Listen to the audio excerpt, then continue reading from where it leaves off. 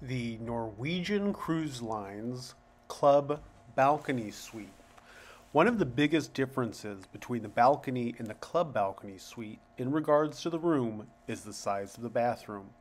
The club balcony suite has two sinks and a larger shower. NCL is also very proud of this shower system that has six random jets kind of in the middle for your feet, knees, and stomach. One of my favorite parts on every cruise ship is the laundry hanging line for drying articles of clothing.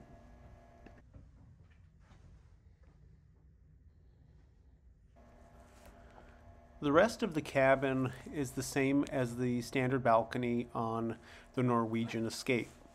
In this closet here, there's the safe that's always in the closets in cruise ships as well as a fairly large storage system.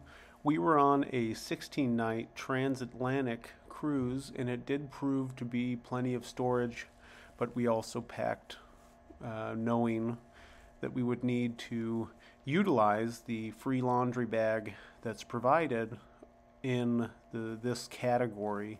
So that was helpful to not overpack. Plenty of space for our trip.